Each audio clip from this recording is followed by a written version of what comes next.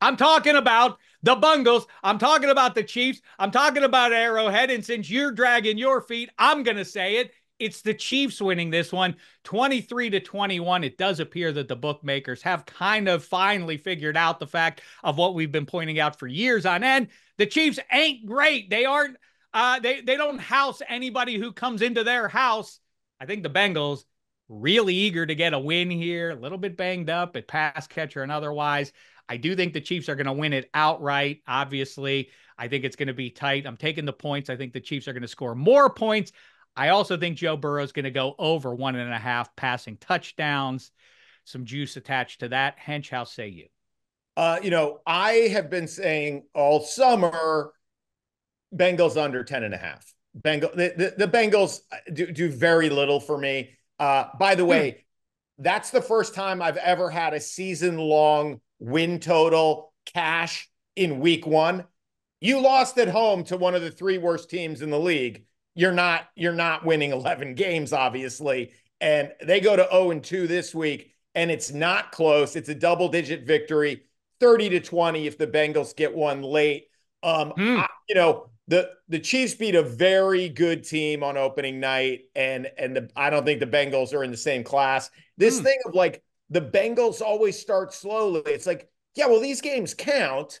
Um, and so being uh, 0 and 2 is, is going to be problematic. And maybe you need to take care of business in week one uh, against the weak sister because you're going to Arrowhead in week two. Like, so I don't know if that means you have to play in the preseason or you have to pay your star receiver, but like, it's almost like was the plan to be 0 and 2 because we always start slow and that's that's okay you know, and uh, and in the division, I mean, I you know, Spaghetti and I have the Steelers going to the playoffs, and mm-hmm. that looks a little smarter this week too. So I just think this division is going to separate in into the the Ohio's and the others. I I think that that the Bengals and Brownies are three four boy, I, I, I mean, I'm really stunned by your cynicism about Joe Burrow. You know, he didn't play basically all the last year. So what you do have to look at, in my opinion, is 2022, not the way the majority of last season went for that team when they fared pretty well with a backup QB. Um, yeah, the Bungles, I do think, but the Ravens should obviously take care of the Raiders, and then they're sort of back on track. We'll get to the Steelers and the weird reaction to their road win that included zero touchdowns, what it all adds up to. Eddie Spaghetti, let's hear your pick on Chiefs Bengals, a big one in the standings. By the way, I said the Spaghetti last week, and I'll say it again now. You know, I hate to be this doom and gloom for the other uh, 15 teams in the conference. I kind of feel like if the Chiefs win this one, they lock up the the number one seed. I know injuries and stuff can happen, but who's going to take them down if they have head to head wins against the Ravens and the Bengals? The Bills, might be in the in play there, but that division's rugged. Anyway, spaghetti. How say you? Well, it's funny you bring up the Bills because the rhetoric I've been seeing lately after the uh, the Bengals lost to the Patriots, and, and kudos to your your fellows in Foxborough there, Hench. But it, that game, like the, beating them the way they did, people like, oh, Josh Allen gets all this hate, gets all this criticism, can't get over the hump, and like Joe Burrow kind of skates by. Why is that? Because the team has struggled in check. You're right. He missed a lot of last year. No preseason. Everyone's saying, oh, like week one really is like the third game of the preseason. But it's also the same thing for the Chiefs. Like the Chiefs didn't play much in the preseason either. And I think they will just continue to get better. Pacheco runs so hard. Rashee Rice, despite what he did in the offseason, he's legitimately like going to be a great receiver in this league, uh, in my in my opinion. And plus, like their defense, you know, Lamar Jackson extended plays with his athleticism that I don't think is really matched by anyone maybe outside of like Anthony Richardson. I don't think Joe Burrow ha- can do what Lamar Jackson does, and I think Justin Fields. Uh, I'm gonna I'm gonna stick just with Anthony Richardson on this one. Um, all that being said, I have the Chiefs winning by a touchdown here. I have them uh, I have them winning 35-28 over the Bengals. I think the Bengals will be okay. They will be they will get back to kind of normal, but I, I think the Chiefs. Uh, I'm I'm not dumb enough to keep picking against the Chiefs anymore. They're they're the better team here.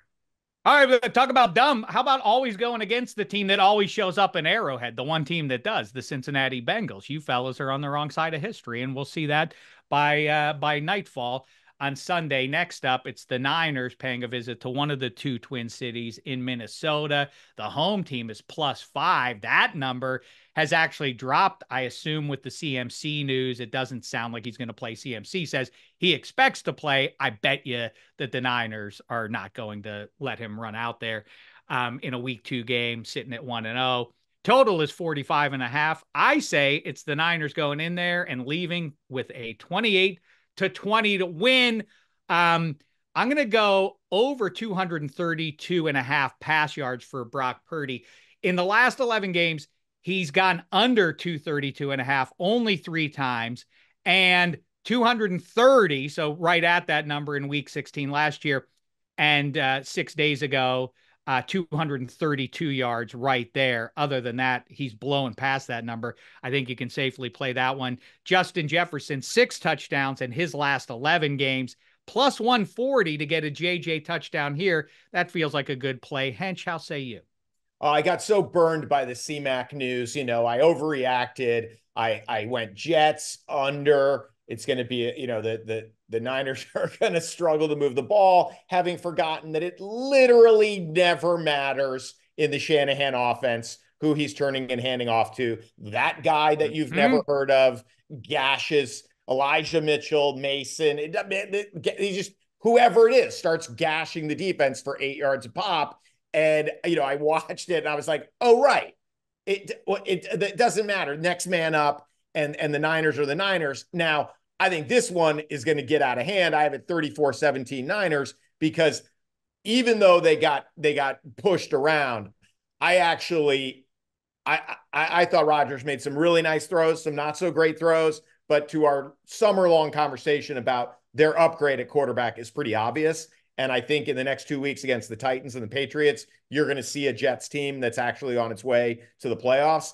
Um, but so the Niners go from a very good team that they blew out to a team that blew out the worst team in the league. So suddenly, like the Vikings are moving way up in class and the Niners are moving way down in class. And it's like, I can't see any formula where the, the Vikings are get forcing any three and outs. Like, how do you, which, who do you take away? So I, I think that's, uh, that's going to be a romp uh, in mini for the Niners. Well, the, I'd love to see that number pre Sam Darnold in New Jersey week one. Well, I mean, the Niners would obviously um, be a heavier road favorite here. I, you know, shout out to O'Connell. This is my ongoing thing, as you know, is the coordinator, the offensive whiz matters more than the guy. That's true of Shanahan, and it's true of O'Connell too. It would seem. Look at the work he's done. I mean, it's uh, from Josh Dobbs. It's not just Kirk Cousins. Um, so he can work some miracles with Sam Darnold. By the way, just coming off of a stint under the uh, the watch of uh, Kyle Shanahan, I think generally speaking, like we talked about, they're going to be a little bit better than people expect. The Niners, though, are the real deal. Spaghetti, how say you? I have the Niners winning uh, by eight here. I have the total going over as well. I have the Niners winning 30 to 22. I mean, look, uh, Sam Darnold was great. Like, go back to the Vikings first. Like, uh, what, five incompletions, two touchdowns. Aaron Jones was phenomenal on the ground.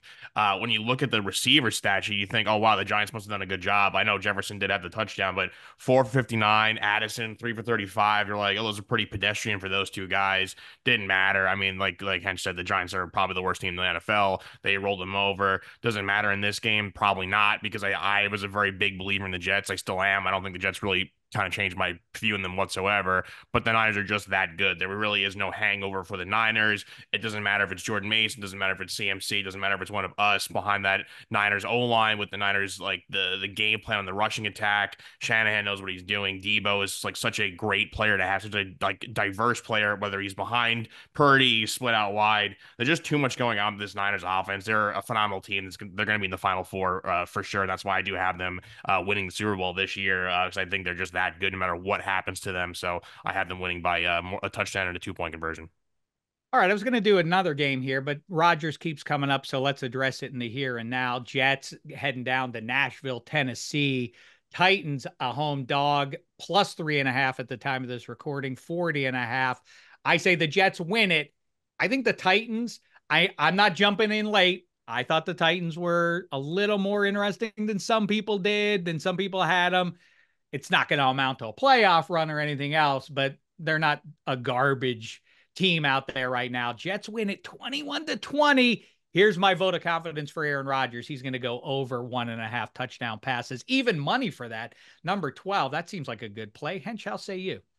Well, I was singing your praises for half of that that Bears Titans opening game because I said, you know, Shek was right. Shek ta- all summer, Shek talked about the Titans, and they're not as bad as people think. And then that game was so crappy and boring. I think we only have eight eight screens, eight eight boxes for the games, and there were a ton of games in the morning window. So the Bears Titans game got pushed off. I don't think we had the Cardinals Bills on. And so it was like, so it was like, all right, get rid of that game, put a good game on. And then by the time the Titans Bears game made it back onto the big screen, it was like, what the hell happened? How did the Bears 24 points? Caleb must have started cooking.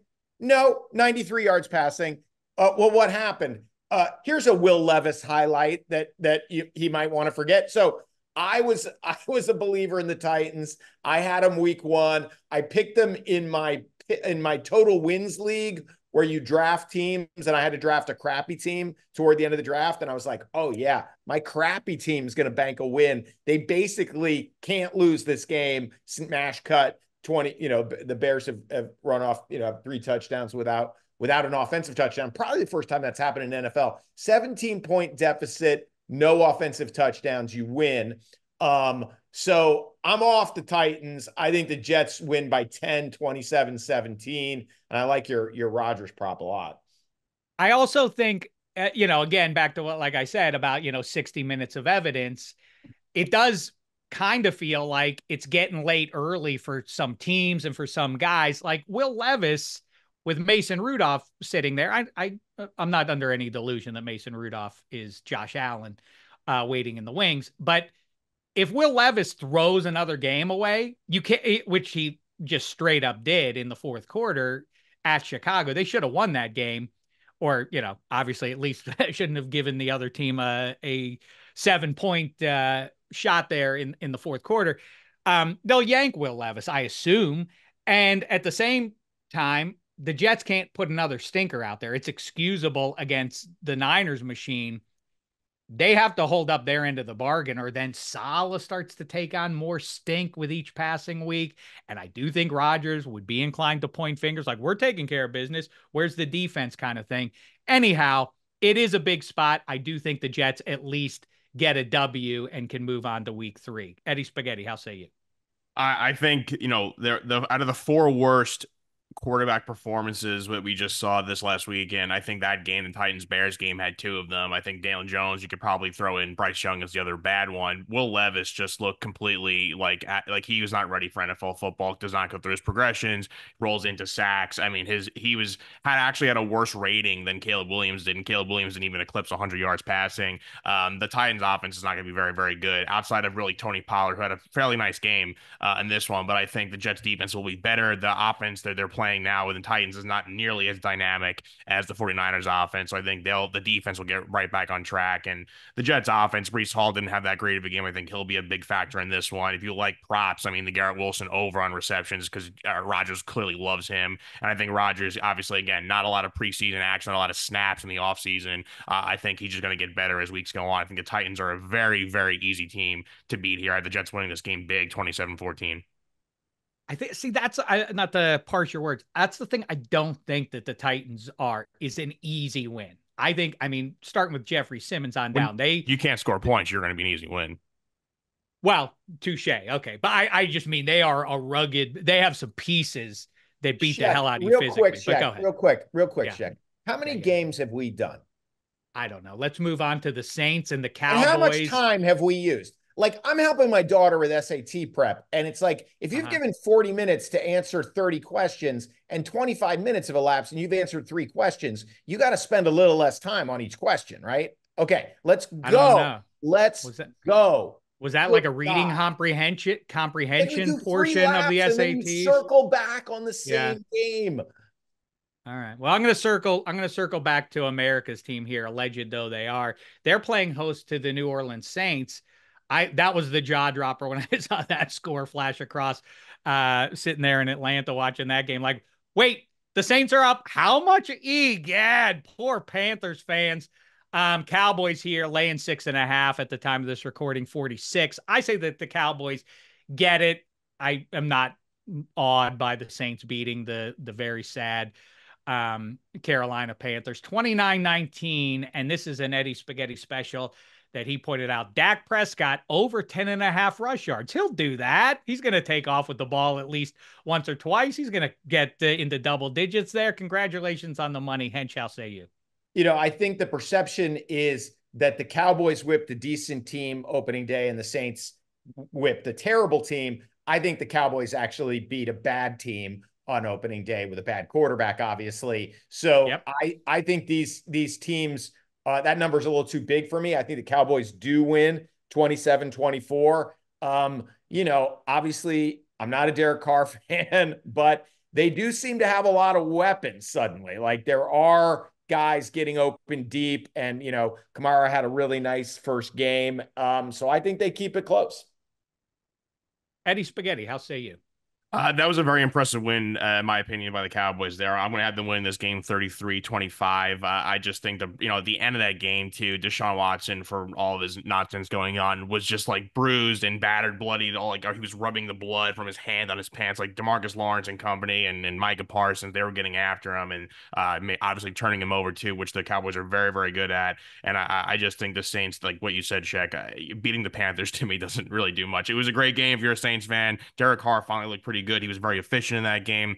But um, Dak doing what a lot of quarterbacks didn't do last year, which was throw touchdown passes on the Cleveland Browns defense. Uh, I think Zeke had the most prototypical 2024 Zeke game 10 carries, 40 yards, and a touchdown. I do like a Zeke touchdown prop because he's going to be the goal line guy that's going to feast. Um, but yeah, the, the Cowboys, uh, nice win. They're going to win this game too.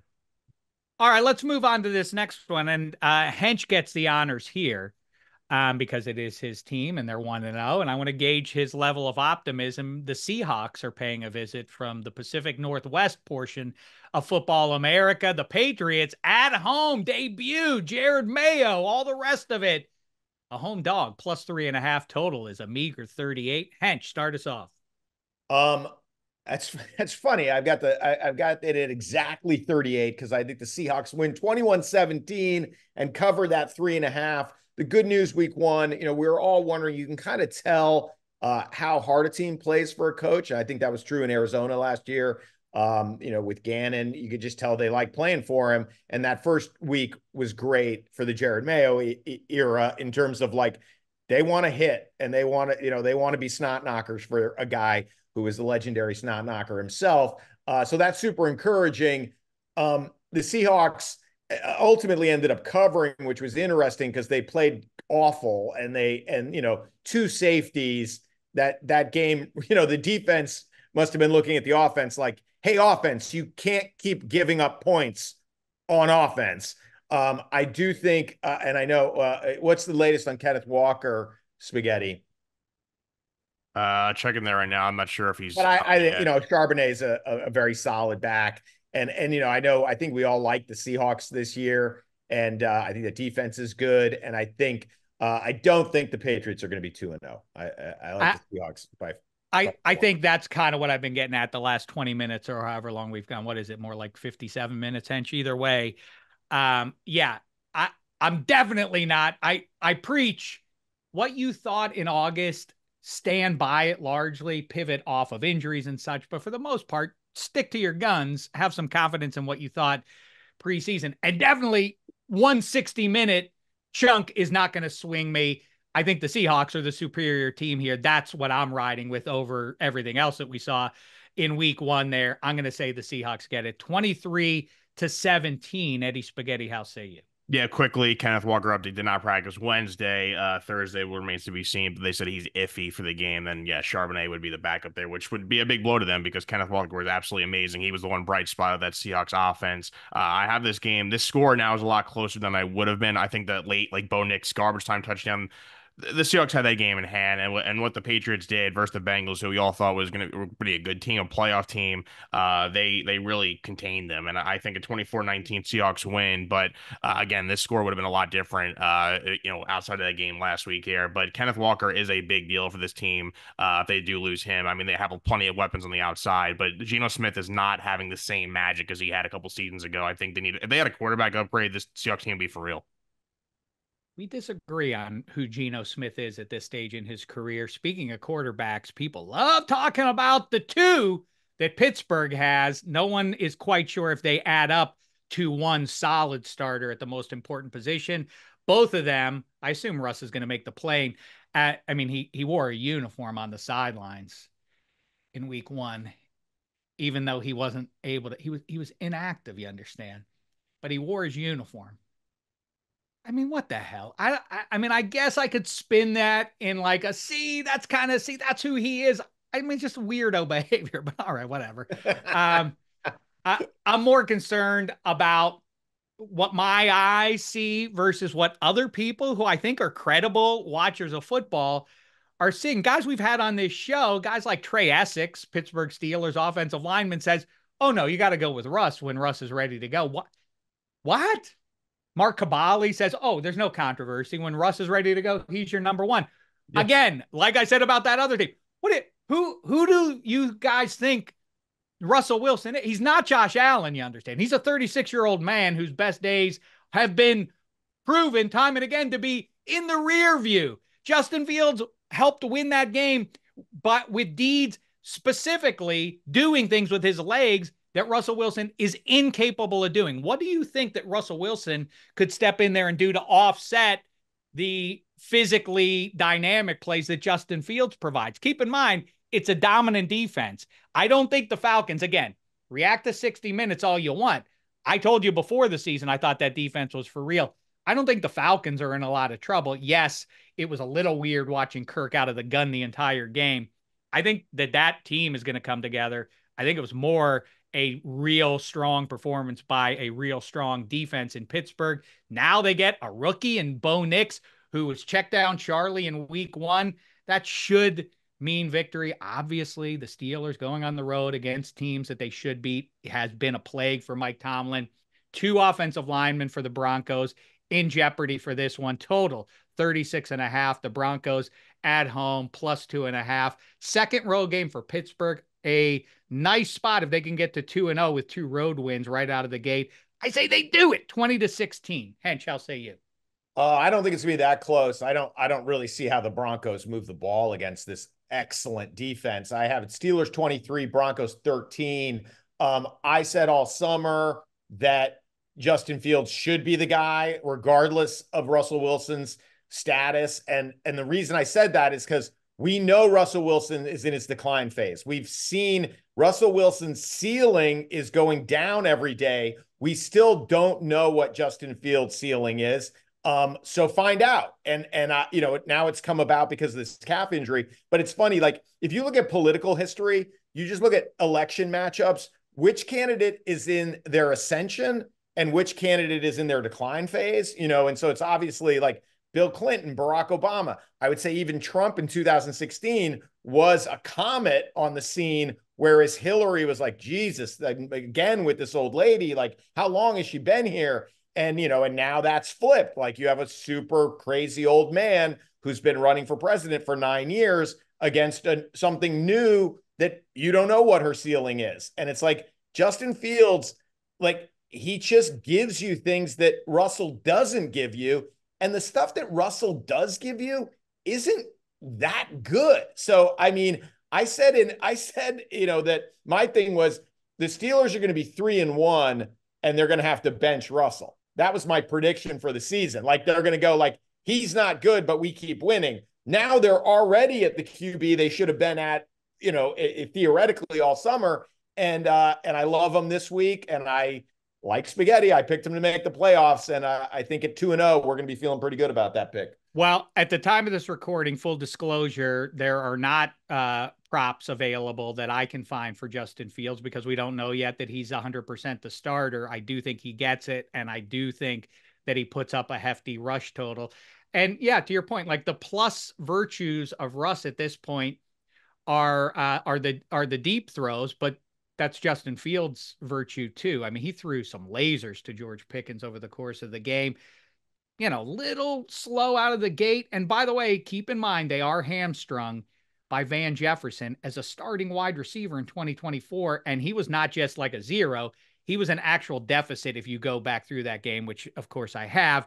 Um, Hench, I mean, uh, Spaghetti, how say you on this one? I, I see the quarterback thing completely different. I mean, I watched every snap of that game. I had a lot of fantasy guys uh, that were relevant in that game, and plus, I, you know, with my predictions of the Steelers being very good, I, I was really interested in this this tough, what I thought was going to be a tough week one matchup. I mean, the Falcons didn't belong, and the game script kind of went to what I thought. Steelers like choked them out defensively. Uh, T.J. Watt, a couple great plays, obviously a late pick. I think I said that last week in our predictions. I, they're going to win this game with a late pick, pound the rock with Najee, and I just don't think Justin Fields did anything to prove to me that he's an NFL quarterback. He, he plays a position, uh, but it wasn't even like his legs got him to eclipse like the 100 yard mark. He still had less rushing yards than Najee did. Um, you know, for a quarterback, five yards a carry is like when you had 14 carries, it, I thought his yards would be way more. And I, I, just feel like if Russell Wilson was in that game, uh, from what I watched, yes, he's not as uh, he's not as athletic as Justin Fields. He can't spin out of the pocket, but like I said before, Will Levis and Daniel Jones did a plenty.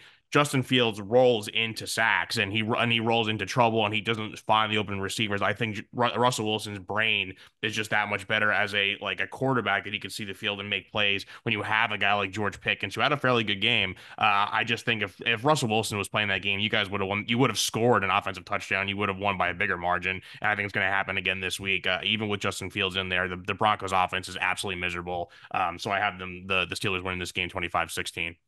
Well, listen, he, I mean, now to Hench's point, you know, it's Fields who has the sword of uh, Damocles or Dameshek hanging over his head. And when he screws up, then they'll flip to the savior, the would be savior, Russ. One thing I will say that I was right about, at least for the first game of the year, TJ Watt, dominant. I mean, unblockable and all the rest of it. And what were the Falcons doing to try and slow that down? I'm not quite sure, having watched it now a couple of times. Um, but my point is, I think right. The guy, the Jenga piece of the Steelers defense, the guy you cannot remove and from the equation and really screw things up is Joey Porter Jr. He eliminated Drake London. Drake London was a zero in that game. Look for that going forward and see how regularly Joey Porter can just eliminate the top pass catching option of the other team. Obviously, that will uh, benefit the Pittsburgh Steelers greatly. Let's go across the Keystone State now. Atlanta Falcons, Kirk and company trying to get on track here. Eagles, we told you the Falcons' toughest slog was the first three games of the year. They just need to get to one and two, and it's clear sailing. Can they do it? Up in Philly, Eagles laying six and a half, total 47. I think the Falcons do it 24 to 21. Hench, how say you? Whoa, this is not a garage I thought we would be in. But I also like the Falcons outright, 30 to 28. Um, you know, lost in in in Saquon tra- trampling the Packers was I did not think the Eagles defense looked good at all. Jordan no. Love left a ton of points on the board. He missed a bunch of guys, and it just looked like the same that looked like the Eagles defense that the Buccaneers blew out in the playoffs. I saw no sign that anything had been addressed. I thought the back end looked bad. And so, you know, it's a, it's an interesting again, Kirk Cousins Kirk Cousins faced a really good defense in week 1. And that's not the case in week 2. So, uh, if if Kirk Cousins can't move the ball against the Eagles, we'll know the Penix draft pick was genius because it because Kirk's cooked. Um, but I do think that that Bijan and London get get untracked against uh, that Eagles defense. That was weird watching Kirk not really seem to firmly plant that foot for the for the full game there. I do think in the Eagles defense's uh, defense, because I said that I think the Eagles defense was going to be a real uh, unit of strength this year. They're young on the back end. I think they'll round into shape and be better at the end of this season than they are right now. Eddie Spaghetti, how say you? Oh, yeah, I do agree with that. The, the back end definitely did struggle, and I do think that I mean clearly the Falcons playing the Steelers defense is a lot tougher than this Eagles defense. But uh, Friday game, Brazil, you know the field conditions were bad. There were some highlights on the uh, Eagles defensive side too. Zack Baun had a great game. Jalen Carter uh, did have a couple of mistakes, a couple of flags, but was pretty dominant. That being said, uh, Kirk will look better but not enough to win. I have the Eagles actually winning 38-26. That offense, um, I mean, Saquon, this is the, the Giants' nightmare about how good he was, and and uh, you know, Jalen Hurts looked pretty good for a guy that didn't play uh, much in the preseason either. AJ Brown had another big game. I, I just think that this Falcons team, uh, I, I don't get why uh, this. I believe in this offense. It seems like you know more of the same what we saw last year, and the Eagles. I did have them winning 13 games. I think this is uh, another big win for them. And I thought Jalen Hurts threw some real stinkers over the course of 60 minutes. Obviously, had his uh, flashes too. And and Shek, and I'm doing. I know I'm I'm I'm breaking my own rule because I'm circling back on the same game, but got to give credit where credit is due. All summer, Shek was saying, is the assumption that they'll just do the tush push with a different guy, and it looked ragged. Like you know, you're like, you'd see him come out in tush push formation, you'd be like, uh, you should hand the ball to to 26. Like I don't. What are you? What are you doing? Like this, this is a, it, it, was even the, the one they converted, he needed to get slammed in the back. Like it, it, it's not the same. And it's different too when it's, I mean, how many times did the tush push fail in any situation? Like literally, how many times did it fail in 23? And if you knock that down by 10%, at least you're not doing it on third and three like they were last year. They would just tush push it when they were anywhere close to the to the sticks on third down. That you remove that from the quiver, then the offense obviously becomes a little bit different. All right, a guy who made zero plays in week one, at least when the game was still in the balance, Deshaun Watson. Now there was some news on Deshaun after the game. Shocker. Um, who could have seen this one coming? Oh, me. I told you. What do you think? It's over because they signed him like, well, that's the end of all allegations from now until the end of time. Obviously, there are going to be more people coming forward. Now they have Browns fans. It's not on you to defend this, but it is on Haslam. It is on Andrew Berry. And Stefanski does not want to seem to acknowledge reality, which is he should be playing the backup Jameis Winston instead of Deshaun Watson, who just looks absolutely cooked. By the way, uniform nightmare matchup. The Browns with the brown and the orange playing the Jags with the teal and the gold. Throw up. But I am going to watch it because it's interesting. The home team Jags laying three, 41 and a half is the total.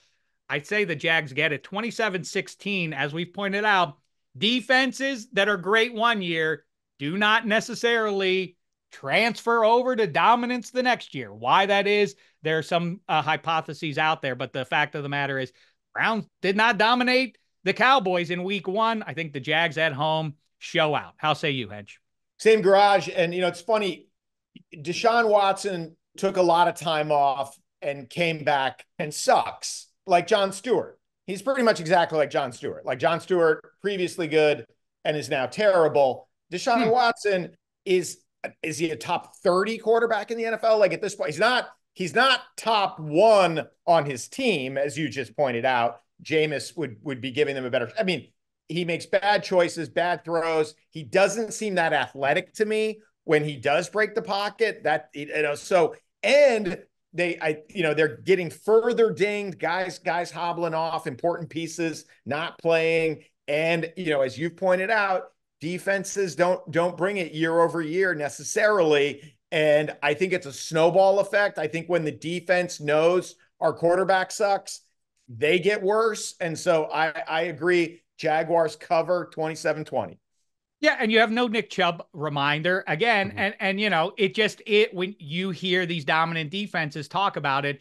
it's diminishing returns because it is just too much pressure on that unit. Like, and we have to win every game, and maybe throw in a couple of points too to help to help the case a little bit. It's too much to ask. Eddie Spaghetti, how say you?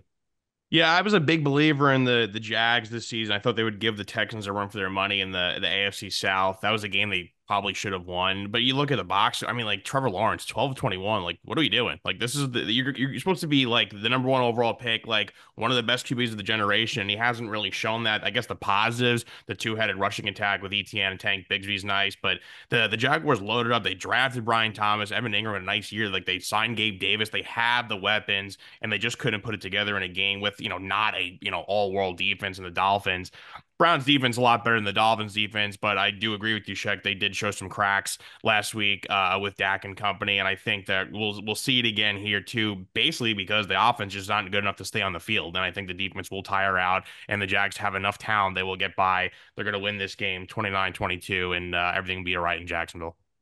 All right. I think, you know, we well, obviously not a 15 minute pregame style show, but I do think to Hench's critique in advance, we did pace it up here a little bit. If you want to throw out one or three more games, Hench, the floor is yours. I'm looking at Bears and Texans as a compelling one, Bucs and the Lions, NFC Central throwback game, Buffalo and Miami on Thursday night. Maybe we should make that our last one before we ran, round it out here. Matter of fact, I'm going to make an executive decision here.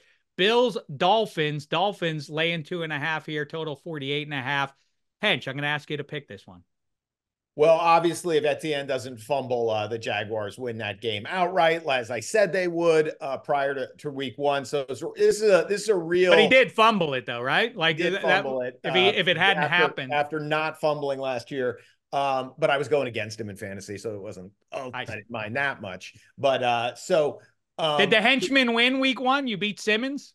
Oh my God, the henchman won everything week one. I won in my picks ah. league. Both my fantasy teams won. I won money. I'm the big winner. So um, both these Good teams, Dolphins and Bills, also won week one, but in uh, kind of uninspiring ways, right? They both seem very flawed.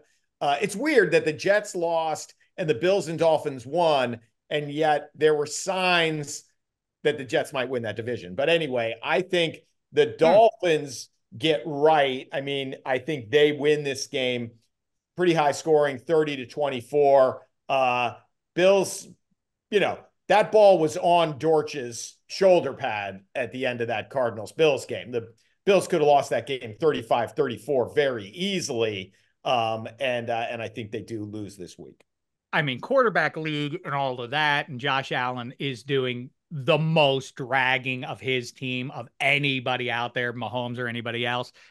Um, and talk about pressure. I mean, he, he has to do everything. You know, he has to do it all or they don't have a chance. You can able to do that for another year. He did it the entire back half of last season. He's got to do it again. I'm on the Dolphins, man. I'm not jumping off. I know they're banged up at running back. Spaghetti. This game, I'm, taking, get... I'm gonna ta- I'm gonna take the Dolphins by uh, to to cover the two and a half. That's what uh, that's uh, my pick on this one. Yeah, I, I think this game is going to be a very, very back and forth game. I do agree it's going to be a high scoring game. Uh, the Dolphins, we just talked about the Jaguars game. Like they, they probably shouldn't have won that game, but they did. Uh, maybe it was, you know, they're fired up for their teammate Tyreek Hill with all that nonsense going on. Their offense still clearly very dynamic. Tua looks like one of the few quarterbacks that, you know, the, the preseason rust didn't really show. Um, he still was doing his thing there, but I think, I do think the running back injuries will play a part. And I also think Josh Allen, we're talking about him. Like if this Bills team gets inside the 20 yard line, it's just like all bets are off. Like he's gonna find a way to score. Uh, you know, the ongoing joke in the fantasy world with like James Cook, and he's like begging for touchdowns because that's just Josh Allen's territory. Like whether it's him shotgun roll around trying to find a guy who's open, or he's gonna take it himself and just bulldoze you. Uh, I think what's gonna happen is the the Dolphins are in the lead. Uh, Bills get the ball. Josh Allen does his thing. They come win this game 31 28 Bills. So Bills uh, on the money line, not even taking the two and a half points that they're getting. I think uh, Josh Allen Magic wins this one. All right. Before Hench leaves, let me just say quickly uh, the other one that I circled as a game like season ain't over. It ain't must win in week two, obviously. But Colts and Packers, I mean, man, you don't want to be 0 2. And they got Malik Willis running out there for the Packers and the Colts. That's a shameful loss if you lose to Malik Willis. I'm fascinated to see. How do you think that one turns out, Hench? I, I think the Colts truck them, and I think the Colts are pretty good, and and that you know, uh, uh, they they obviously played the Texans tough week one, um, and and I don't, you know, Malik Willis getting thrown into the fire, and it's like, look, all you have to do is throw it as far as you can. I'm going to protect the football. I'm going to take a sack on the final play. Like, just throw it as far as you can. What do you? You have one job anyway. I think that uh, I, I think that one actually is a blowout for the Colts, 27-10. And then the last game I'll throw out just to make some money, people. Let's make some money. There is no way the Raiders are staying within double digits of the Ravens. The Ravens long single week. digit, right? Yeah, you, you know right. they're they're not they're not yeah they're not going to keep it to single digits. The Ravens on a mini buy essentially, uh, uh, you know, while the the Raiders were just getting pushed around by the Chargers, um, you know, physically dominated, uh, and and you know when when Lamar Jackson breaks the pocket, he's not going to run out of gas like J.K. Dobbins. J.K. Dobbins looked like he hadn't been on a wind sprint in three years, and, and of course he hadn't without getting hurt. But that that was a hilarious 60 yard run because he was gone, and then at the 40 yard mark, it was like he hit Heartbreak Hill in a marathon. I, I figured I thought he was hurt again. I was like, oh my god, he's his hamstring is gone. It's like no, he just hasn't run that far in years. But uh, the Ravens will take it all the way to the house Oh, uh, I, I love that you did that. I, I I so want to go against you and take the Raiders here because Christian Wilkins and Maxx Crosby and the rest of it. Uh, again, we perceive the Ravens to be like, oh, you're you're a little soft. You don't want to have to play Baltimore. They're a little soft up front themselves. If you didn't notice that in in Week One, um, Justin Madubuike defensively aside, they're not they're not beastly like they what like we think the Baltimore Ravens are. Watch out for that one. All right. Um, well, that said, if Isaiah Likely has size 14 shoes instead of size 15, they're one and zero. Oh. I get it. Okay, last thing before you go. I, I but if you want to go, like if you want to slap Eddie Spaghetti in the face like this, that's your business. The Giants and commies ain't even worth your time. Oh God. Well, I mean, you know, I, I I'll say this. It's JV. If you want to just leave it to me and spaghetti, will, you can go about your this. business. You know, I I was the last uh Daniel Jones. I was the last guy on that island. Like everybody was leaving. I think Spaghetti and I were the last two for about eight months. And I just like him, I guess. I I, I you know, it, it's hard to watch a guy like David Carr, your buddy, you know, it's just hard to watch a guy have a defender in his lap on every play that he's supposed to be developing.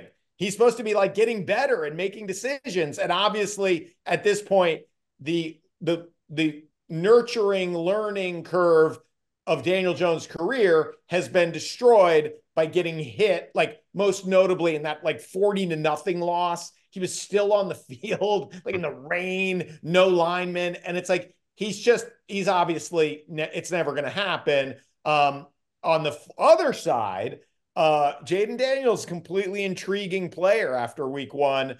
Uh, so I, I, I think the commies uh, take it and cover 28 20.